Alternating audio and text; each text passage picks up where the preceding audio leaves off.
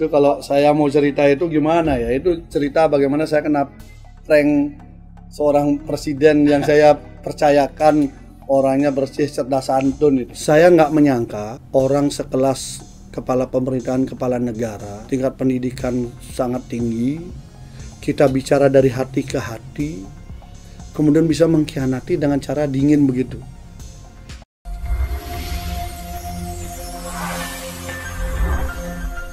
Mantan kader Partai Demokrat Igede Pasek Suardika yang juga loyalis Anas Urbaningrum mengaku masih tidak percaya dirinya pernah diprank oleh Susilo Bambang Yudhoyono atau SBY. Disadur dari tribunnews.com dengan setengah tertawa Igede Pasek mengingat awal mula kejadian yang menyebabkan adanya prank dari SBY yakni ketika Anas Urbaningrum mundur dari posisi Ketua Umum Partai Demokrat. Anas mundur tepat satu hari setelah ditetapkan sebagai tersangka kasus dugaan gratifikasi terkait proyek Hambalang dan proyek-proyek lainnya oleh Komisi Pemberantasan Korupsi pada 22 Februari 2013. IGD Pasek saat itu mengajak Anas berdiskusi terkait nasib kawan-kawannya yang bersiap nyalek dalam pemilu yang akan datang. Sebab tahapan pemilu sudah mulai digelar. Satu malam saya ke tempat Mas Anis di Duren Sawit. Kita diskusilah ngomongin nasib teman-teman. Mas ini gimana? Teman-teman itu nunggu apakah pindah partai atau tetap seperti ini. Siapa nanti penggantinya Mas Anas? Ucap Igede Pasek.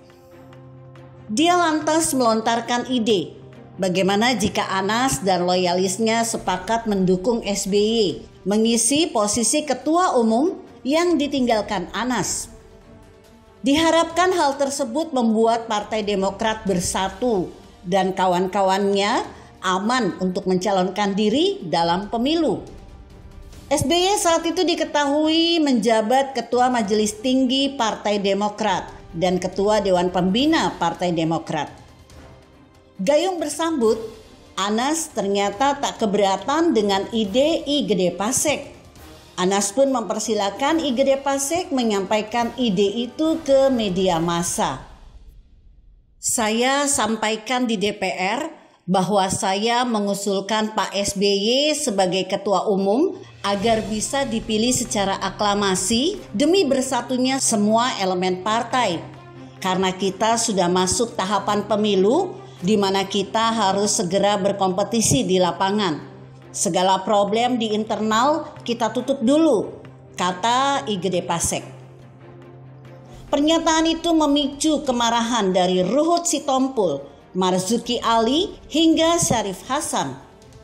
Usulan Igede Pasek dianggap menghina SBY karena menurunkan statusnya dari Majelis Tinggi Partai dan Dewan Pembina menjadi Ketua Umum.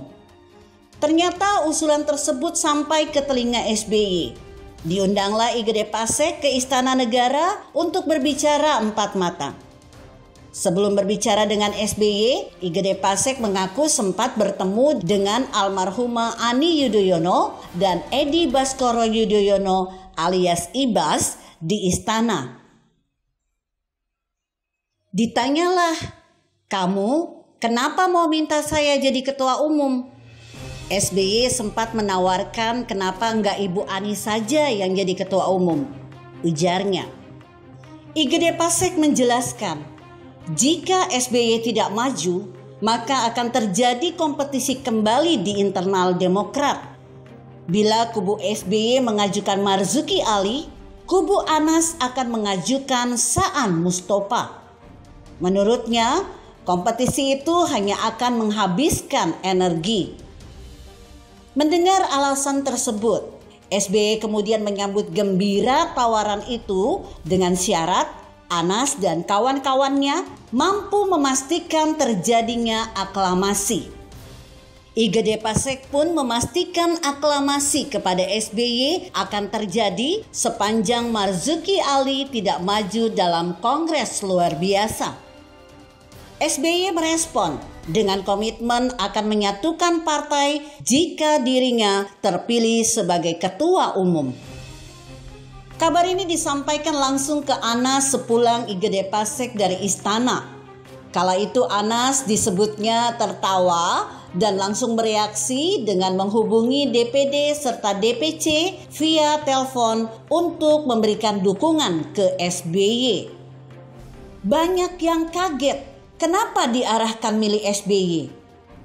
Mas Anas waktu itu bilang, sudahlah biar semua selamat, pilih SBY aja dulu. Nanti urusan saya belakangan lah. Yang penting proses teman-teman nyalek kata IGD Pasek. Singkat cerita, KLB yang digelar di Bali secara aklamasi memilih SBY sebagai ketua umum. Anas dan IGD Pasek sengaja tidak hadir dalam KLB. SBY sendiri mengabarkan kemenangannya melalui pesan BlackBerry Messenger kepada IGD Pasek. Lantas SBY meminta usulan nama-nama dari Anas dan loyalisnya untuk dimasukkan ke dalam kepengurusan DPP Partai Demokrat. KLB sudah selesai secara aklamasi. Sampaikan juga terima kasih untuk Bung Anas dan mohon usulan nama-namanya untuk kepengurusan di DPP. Ujar IGD Pasek yang kemudian menunjukkan pesan itu kepada Anas. Keesokan harinya IGD Pasek mengirimkan usulan nama-nama yang diminta SBY. Namun dia tidak menyangka bahwa dari seluruh nama yang diusulkan itu hanya Saan Mustafa yang masuk ke pengurusan. Bayangan saya, saya sebagai orang politik, investasi politik lebih banyaklah ya. Dari ide, menggarap, mengamankan Anas, melancarkan semua. Kayaknya jabatan saya ini pasti melambung naik lah. Eh ternyata bukannya melambung, malah terhempas. Hilang, cuma tersisa satu, Saan Mustafa. Itu pun jabatannya memang dari dulu di situ. Yang lain hilang kena prank, tegasnya. IGD Pasek kaget dan tak menyangka SBY yang dipercayanya sebagai orang bersih, cerdas, dan santun mampu mempermainkannya. Bahkan SBY disebutnya tidak pernah meminta maaf atas nama-nama yang hilang serta menganggap seperti tidak pernah terjadi apa-apa. Di situ saya kaget betul, nggak nyangka orang sekelas kepala pemerintahan, kepala negara, tingkat pendidikannya sangat tinggi, kita bicara dari hati ke hati. Kemudian bisa mengkhianati dengan cara dingin begitu. Kalau sekarang beliau ngeluh begini, dikhianati terkait kasus kudeta. Saya sebenarnya sudah lebih dulu ngeluh loh, ujar Igede Pasek. Jadi kalau cerita ini antara senang dan gak senang. Senangnya itu karena yang ngeprank saya itu seorang presiden. Gak senangnya itu kok ada gitu loh. Orang yang seharusnya kita sudah bicara gentleman agreement. Seorang politisi yang berbicara dalam konteks bangsa bernegara. Kok bisa menipu hal yang sangat substansial tandasnya. Jika Anda berpendapat lain, berikan komentar Anda di kolom komentar. Saya Emma, Karisma 90.